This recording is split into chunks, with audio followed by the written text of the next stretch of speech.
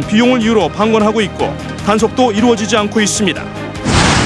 봄철 야외 운동이 살 빼기에 가장 효과적인 것으로 나타났습니다. 선선할 때 운동을 하면 열을 만들어내는 몸속 갈색 지방이 활성화되면서 체지방이 줄어듭니다. 지구 온난화가 빨라지면서 금세기 말에 서울은 여름이 1년의 절반이 될 것이란 전망이 나왔습니다. 온실가스 배출량을 줄이지 않으면 33도 넘는 폭염과 열대야가 10배 늘어나 석 달 가까이 이어질 것이란 경고도 제시됐습니다.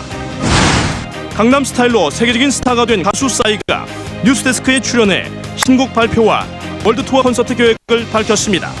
신곡과 새로운 춤은 가장 한국적인 요소를 재해석해 신나는 리듬으로 만들었다고 말했습니다. 항생제가 남용되면서 몸에 꼭 필요한 세균까지 파괴해 각종 질병을 유발한다는 새로운 연구 결과가 나오고 있습니다. 심장병이나 당뇨병, 심지어 자폐증과 대장암 같은 많은 질병이 항생제 남용으로 인한 세균 교란과 관련이 있는 것으로 밝혀지고 있습니다. 뉴스플러스에서 알아봅니다. 통신사들이 앞다퉈 스마트폰 무제한 요금제를 내놓고 있습니다. 하지만 기본 요금을 올린 경우가 많아 이용자가 자칫 손해를 볼 수도 있습니다. 요금이나 경쟁과 함께 스마트폰 단말기에 거품도 빼야 한다는 지적 취재했습니다.